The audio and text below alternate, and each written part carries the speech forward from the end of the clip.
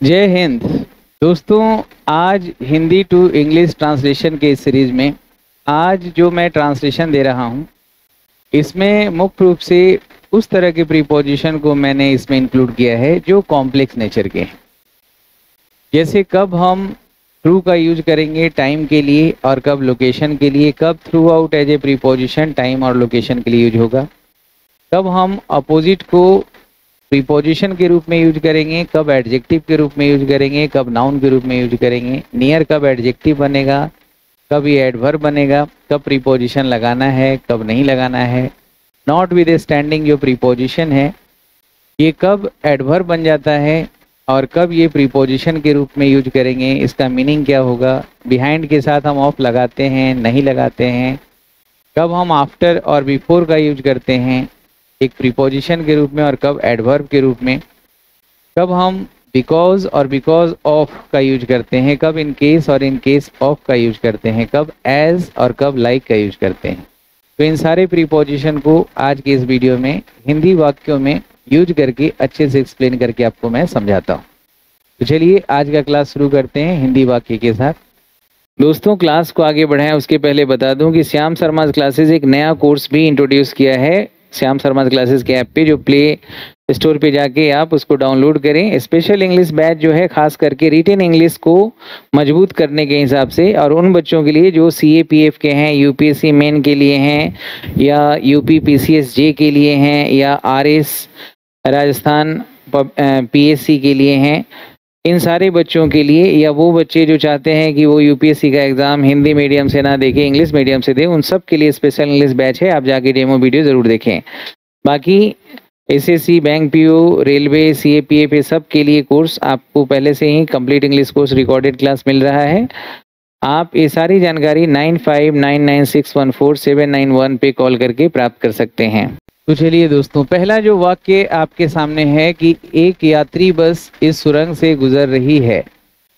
तो किसी भी माध्यम से अगर मूवमेंट हो रहा है, किसी भी चीज़ का, एक तरफ़ से दूसरे तरफ़, वहाँ पे जो प्रीपोजिशन लगाते हैं, वो होता है थ्रू थ्रू एक प्रीपोजिशन है और थ्रू माध्यम बताता है। थ्रू आउट अगर बोल देते हैं तो शुरू से लेके अंत तक पूरा हो जाता है कि हर पार्ट में कोई चीज़ है।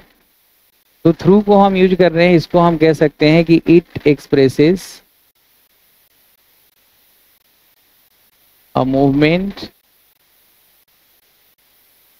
of anything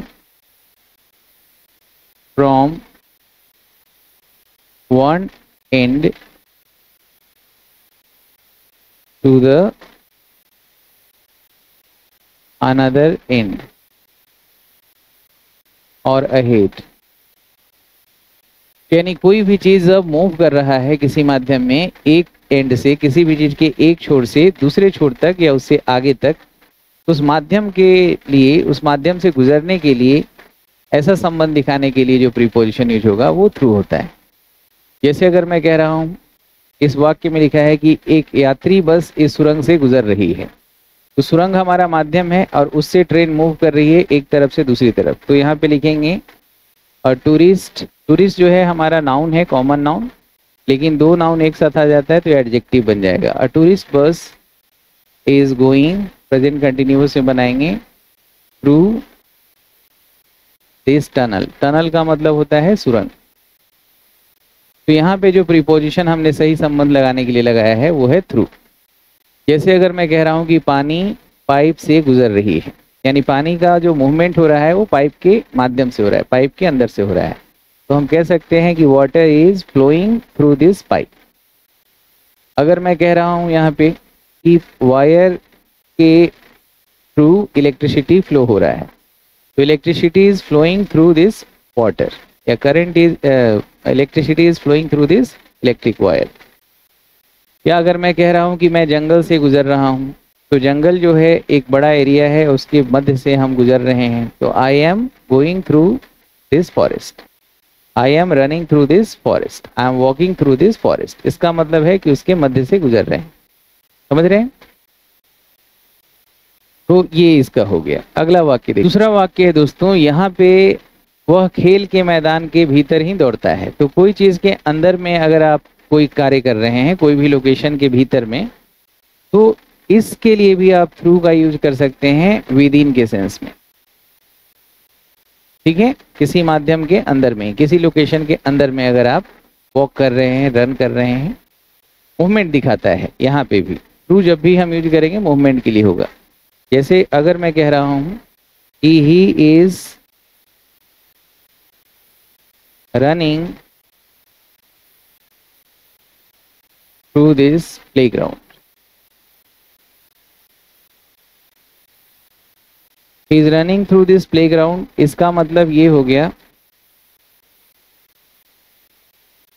इसका मतलब ये हो गया कि he is running within the playground तो थ्रू का मतलब इस सेंस में भी यूज़ करते हैं कि कोई चीज़ या कोई व्यक्ति मूवमेंट कर रहा है किसी भी एक इन कैंपस यानी कि कोई भी एक बाउंड्री के भीतर अगर कोई मूवमेंट दिखाना है तो थ्रू का यहाँ पे यूज़ हो गया दोस्तों कि कभी भी अगर आपको ये दिखाना है कि कोई एक फ़ील्ड एक कैंपस एक बाउंड्री के अंदर में कोई गतिशीलता दिखाना है तो वहाँ पे भी आप थ्रू या विद इन का यूज़ कर सकते हैं। विद इन के सेंस में थ्रू का यूज़ कर सकते हैं। इस वाक्य में लिखा है कि इस पार्क में शुरू से लेकर अंत तक फूलों के पौधे लगे हुए हैं। यहाँ भी लोकेशन बताना है। कोई चीज़ अगर अवेलेबिलिटी है किसी चीज़ की पूरे क्षेत्र में, कोई लोकेशन के हर एक पार्ट में तो वहाँ पे आप थ्रू आउट का प्रयोग कर सकते हैं एक साथ प्रीपोजिशन के रूप में। तो यहाँ पे हम जो प्रीपोजिशन यूज़ करने जा रहे हैं, वो है थ्रू आउट एक साथ लिखेंगे। थ्रू आउट का मतलब होता है every part of any location कोई लोकेशन के हर एरिया में, हर हिस्से में। तो इस पार्क में शुरू से लेकर अंत तक फूलों के पौधे लगे हुए हैं। क्या लगे हुए हैं? फूलों के पौधे। लिखेंगे देयर आर फ्लावर प्लांट्स यहाँ से फिर से मैं बता दूँ कि फ्लावर और प्लांट्स दोनों इंडिविजुअली नाउन है, लेकिन फ्लावर यहाँ एडजेक्टिव हो जाएगा। देयर आर फ्लावर प्लांट्स कहाँ पे है? थ्रू आउट दिस पार्क अब यहाँ पे throughout in this park मत कर दीजिएगा, क्योंकि थ्रू आउट यहाँ पे खुद ही जो है प्रीपोजिशन है। सही है? जैसे अगर आप कहते हैं कि there are lush green trees throughout this valley यानी कि पूरा वैली जो है आच्छादित है हरे भरे पेड़ों से। तो थ्रू आउट का मतलब होता है पूरा। जैसे I clean the room I throughout clean the room या I clean the room throughout यानी कि शुरू से लेके अंत तक। तो ये एडवर्ब के रूप में भी आएगा अगर इसके आगे नाउन का प्रयोग नहीं हुआ है। और अगर थ्रू आउट के आगे नाउन लिखा हुआ है नाउन फ्रेज लिखा है, तब ये प्रीपोजिशन बनेगा। एडवर्ब के रूप में भी इनका यूज़ करेंगे। एडवर्ब के रूप में जब यूज़ करेंगे तो ये विदाउट नाउन आएगा मतलब कि ये आगे नाउन को फॉलो नहीं करेगा। और चूँकि प्रीपोजिशन पढ़ रहे हैं तो ये टाइम लोकेशन दोनों के लिए होता है। तो अगला वाक्य जरा देखिए, जहाँ पे हम इनका टाइम के परिप्रेक्ष्य में देखते हैं थ्रू और थ्रू आउट का यूज़ जैसे अगर कोई चीज़, कोई प्रोग्राम है, कोई स्कीम है, या कोई भी ऐसी चीज़ें जिसको टाइम के परिप्रेक्ष्य में दिखा रहे हैं कि ये शुरू से लेके यहाँ तक चलेगा तो वहाँ पे भी थ्रू का यूज़ आप लोकेशन के साथ साथ टाइम के लिए करेंगे। जैसे यहाँ है, यह प्रदर्शनी दिसंबर के अंत तक चलेगी। यानी शुरुआत पहले कभी हुआ है, लेकिन ये अंत तक चलेगी। तो ये गतिशीलता दिखाना है यहाँ भी। तो हम यहाँ पे लिखेंगे this exhibition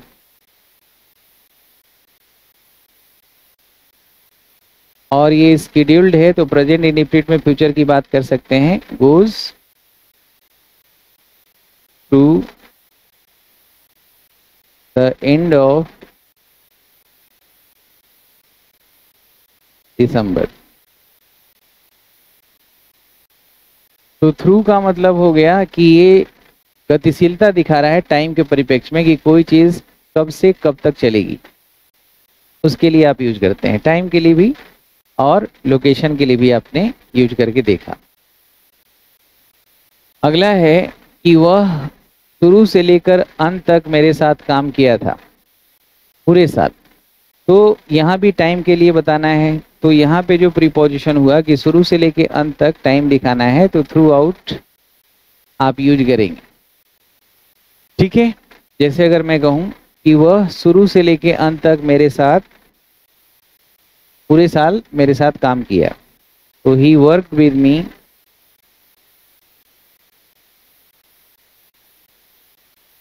throughout throughout location के लिए भी यूज़ कर रहे हैं, यहाँ टाइम के लिए। Throughout this year throughout this year या थ्रू आउट द डे या थ्रू आउट द मंथ तो थ्रू आउट द डे का मतलब हुआ कि सारा दिन all day long throughout the day का मतलब क्या हो गया? थ्रू आउट द डे इसका मतलब हुआ कि ऑल डे लॉन्ग यानी सारा दिन. थ्रू आउट द ईयर यानी ऑल ईयर लॉन्ग तो इस तरीके से लोकेशन के अलावा टाइम के लिए भी इनका यूज़ करेंगे. अगला जो वाक्य है दोस्तों, वो है, कड़ी मेहनत के बावजूद वह अपने प्रतिद्वंदी को हरा नहीं सका। तो यहाँ पे एडवर्स चीज़ों को दिखा रहा है कि कड़ी मेहनत किया है तो हरा देना चाहिए था अपने प्रतिद्वंदी को, लेकिन ऐसा हुआ नहीं। तो विपरीत परिणाम को दिखाने के लिए जो प्रीपोजिशन आप यूज़ करते हैं, वो नॉट विद स्टैंडिंग का प्रयोग करेंगे। एक साथ लिखना है नॉट विद स्टैंडिंग प्रीपोजिशन के रूप में इसका जो मीनिंग होगा, वो डिस्पाइट हो जाएगा। डिस्पाइट या डिस्पाइट के जगह आप चाहें तो इन स्पाइट ऑफ़ का भी प्रयोग करेंगे। इन स्पाइट रहेगा तो ऑफ़ लगाना है। कड़ी मेहनत के बावजूद। तो यहाँ पे लिखेंगे notwithstanding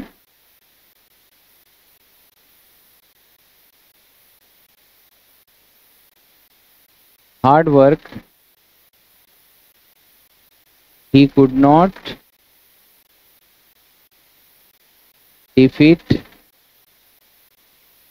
his opponent वो अपने विरोधी को हरा नहीं सका। तो नॉट विद स्टैंडिंग जो होता है, इसका मतलब डिस्पाइट होता है प्रीपोजिशन के रूप में। तो आप चाहें तो यहाँ पे डिस्पाइट भी लिख सकते थे, और डिस्पाइट के साथ ऑफ़ लगाना गलत हो जाएगा, क्योंकि ये खुद प्रीपोजिशन है। या अगर हम चाहें तो यहाँ पे इन एस्पाइट ऑफ़ भी लिख सकते थे। तो ये तीनों एक ही मीनिंग देगा। और इनको आपस में एक दूसरे के बदले में बदल सकते हैं।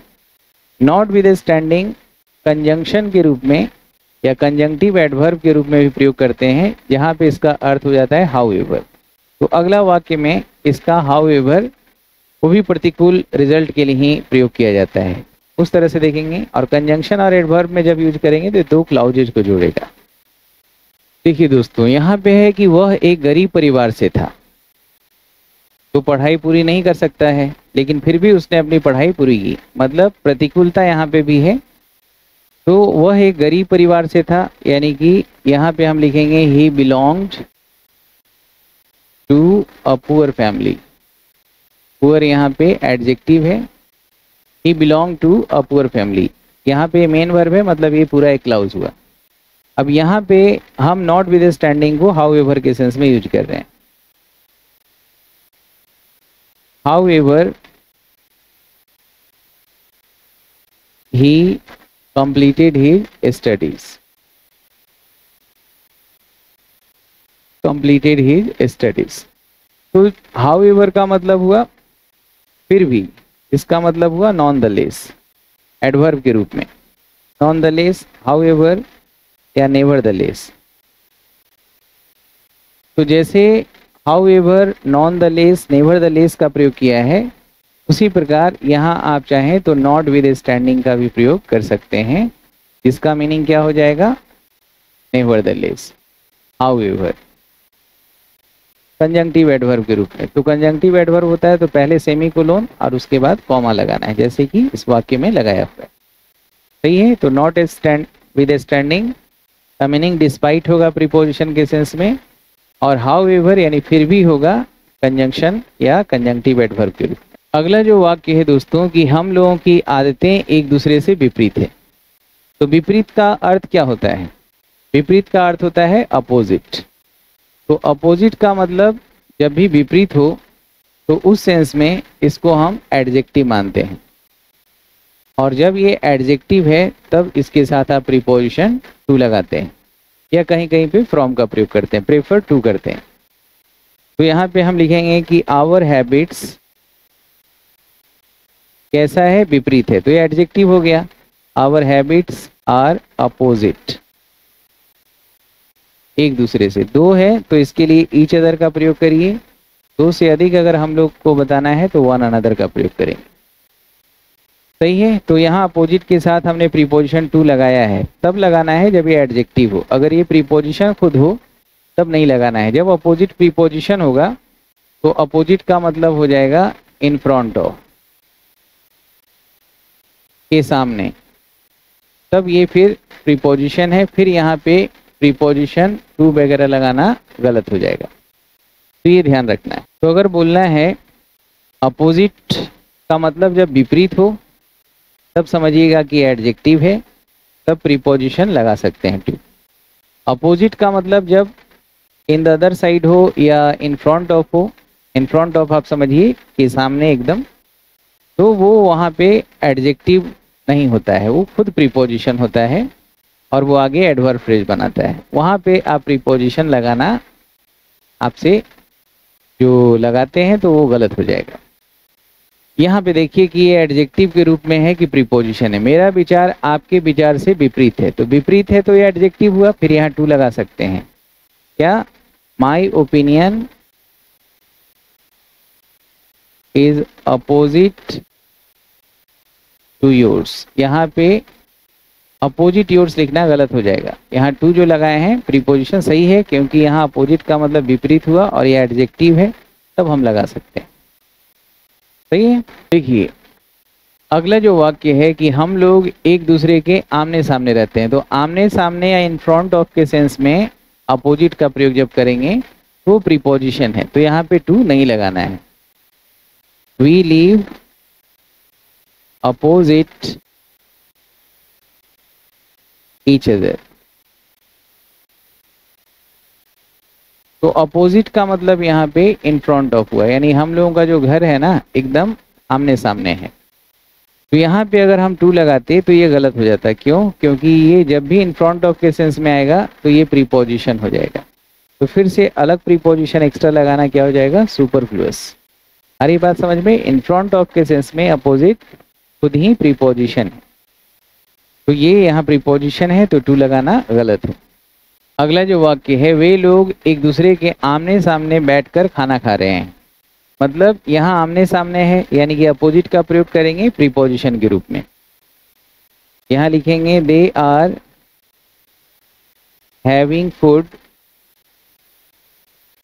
while while यहाँ प्रीपोजिशन के रूप में आया है, आगे जीरन लगा रहे हैं वाइल सीटिंग अपोजिट अपोजिट भी प्रीपोजिशन है अदर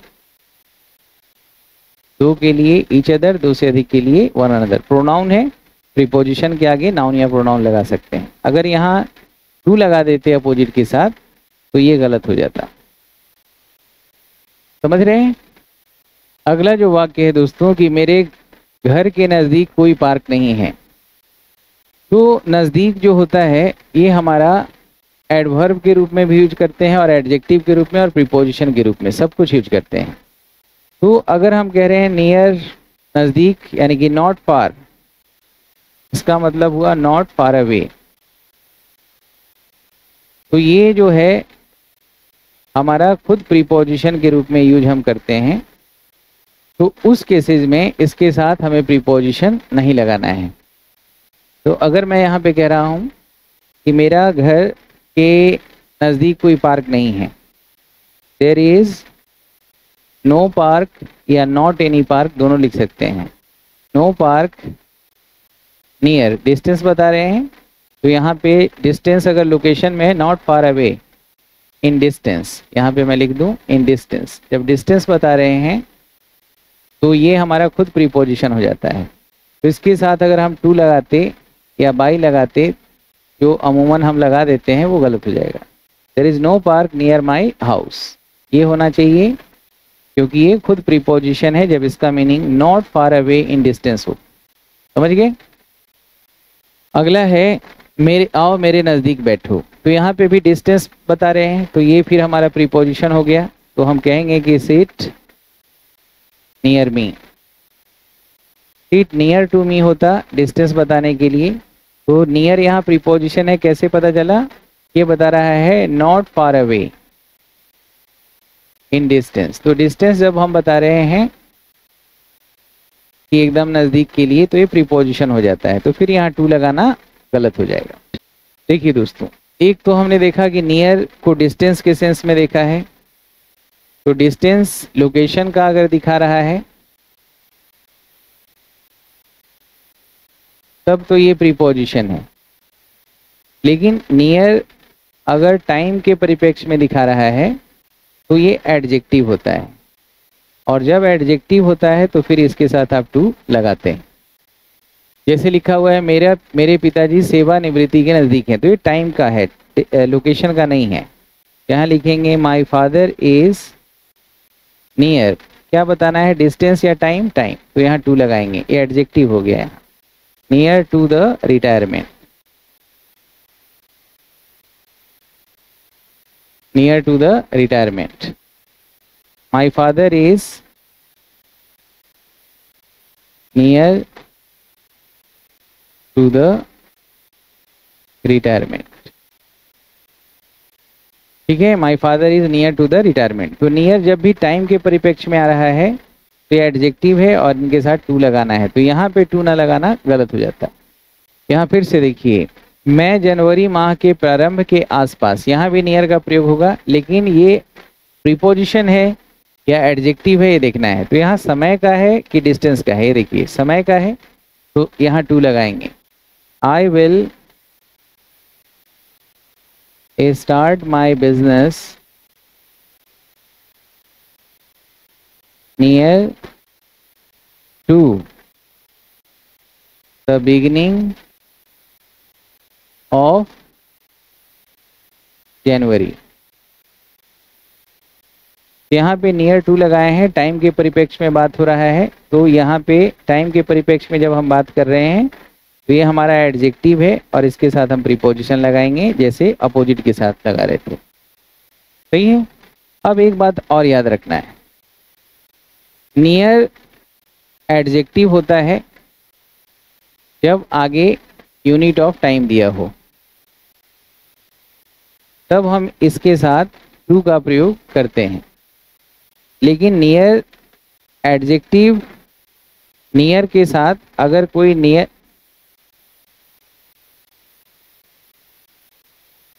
लोकेशन दिया हुआ हो तो हम एडजेक्टिव के रूप में तो यूज़ नहीं होगा प्रीपोजिशन के रूप में होगा।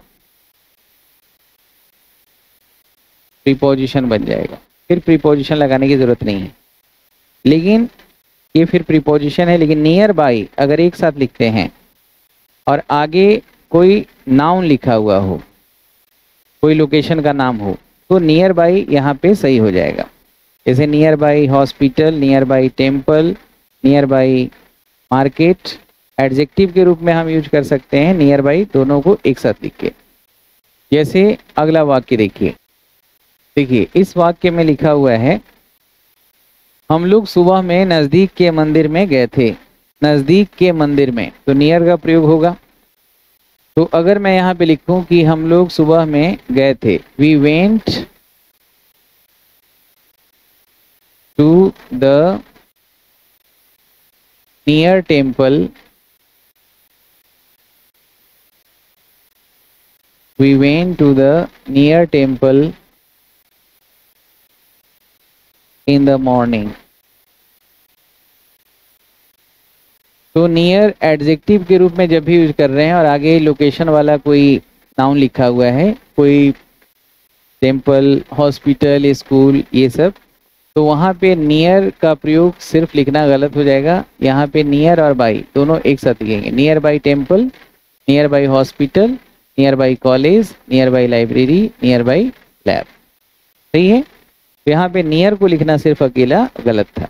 जैसे अगर मैं कह रहा हूँ, अगर टाइम का यूनिट दिया हुआ हो तो वहाँ पे आप लिख सकते हैं एडजेक्टिव के रूप में नियर को। जैसे अगर मैं कह रहा हूँ कि हम लोग निकट भविष्य में तुम्हारे पास आएँगे।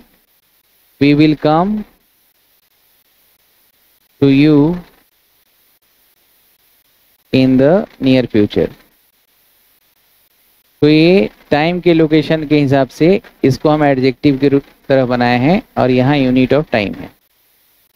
तो ये एडजेक्टिव है। अगर हम इसको टाइम के लोकेशन में बताएँ तो टू लगाने की ज़रूरत नहीं है। नियर फ्यूचर तो नियर टेंपल गलत है। नियर बाई टेंपल बोलेंगे। नियर बाई हॉस्पिटल लेकिन नियर फ्यूचर लिखना टाइम के लिए सही है। अगला है, मैंने उसके बुरे व्यवहार के कारण फटकार लगाया। कारण क्या था? बुरा व्यवहार। तो कारण के लिए बिकॉज़ का भी प्रयोग करते हैं और बिकॉज़ ऑफ़ का भी प्रयोग करते हैं। तो दोनों में फ़र्क ये है कि ऑफ़ लगा है लास्ट वर्ड अगला जो मैं क्लास दूँगा, ये प्रीपोजिशनल फ्रेज से ही दूँगा फ्रेज प्रीपोजिशन से दूँगा, जो कॉम्प्लेक्स प्रीपोजिशन बोलते हैं। तो इसको हम प्रीपोजिशन मानेंगे और इसको कंजंक्शन सबॉर्डिनेटिंग कंजंक्शन तो यहाँ पे देखना है कि आगे अगर क्लाउज है यानी कि सब्जेक्ट प्रिडिकेट दोनों है, तभी हम बिकॉज़ लिखेंगे प्रीपोजिशन के रूप में इनका इस्तेमाल करेंगे। तो मैंने उसे डांटा था आई एस्कोल्डेड हिम क्या लगाएँगे?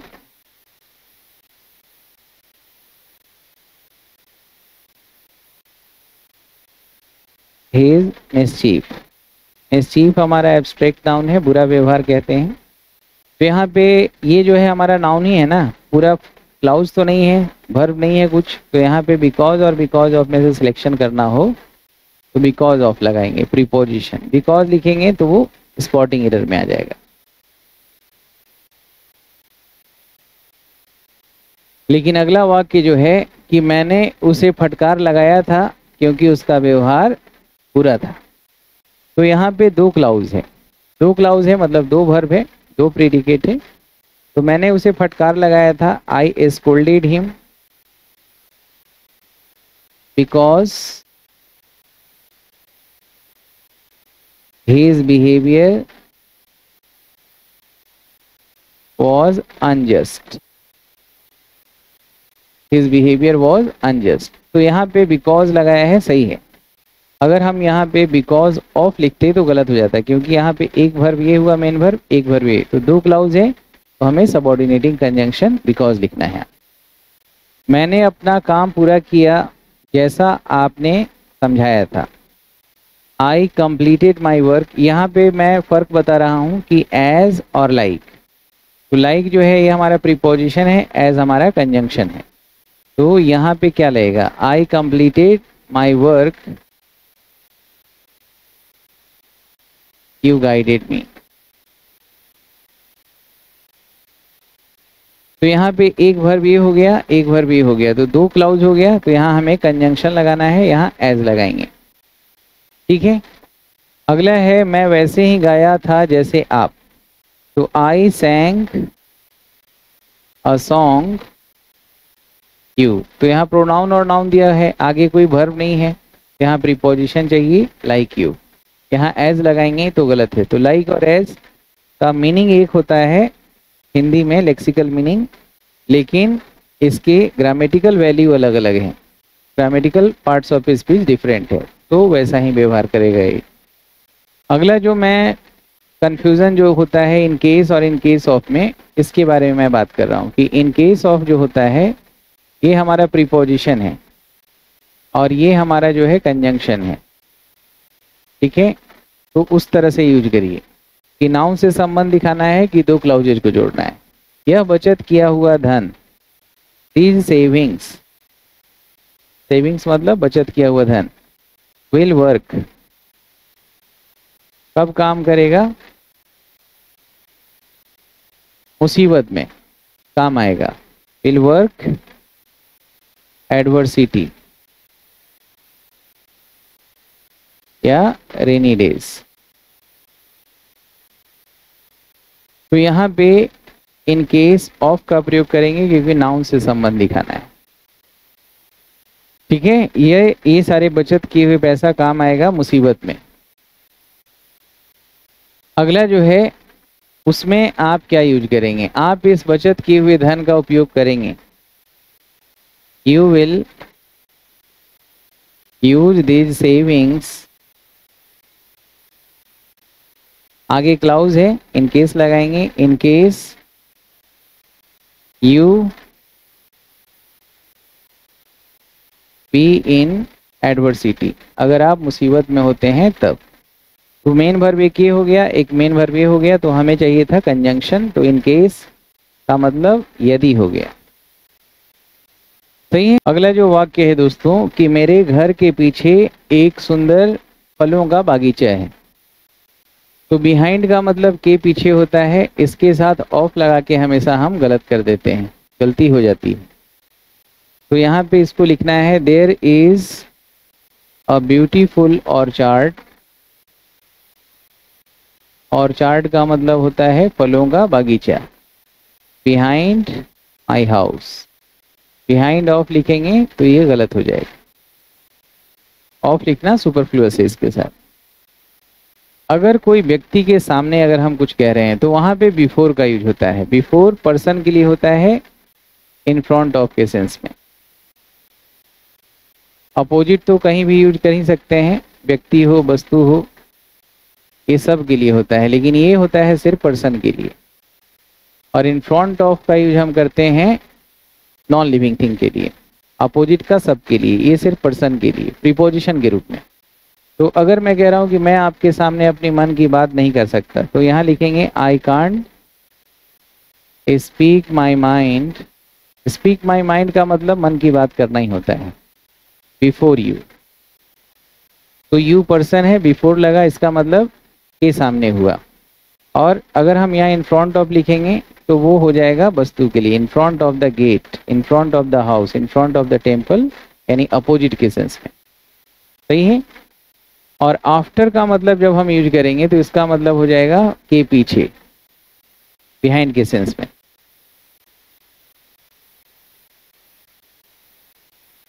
और बिफोर जब टाइम के परिप्रेक्ष्य में हम बात कर रहे हैं क्लाउजेज को जोड़ने के लिए तो इसी को हम कंजंक्टिव एडवर बोलेंगे। जैसे बिफोर मंडे बोलते हैं बाय मंडे बोलते हैं तो बिफोर वहाँ पे प्रीपोजिशन ही है। लेकिन बिफोर यू केम एक क्लाउज के पहले बोल रहे हैं, तब ये फिर हमारा कंजंक्शन है एडवर्ब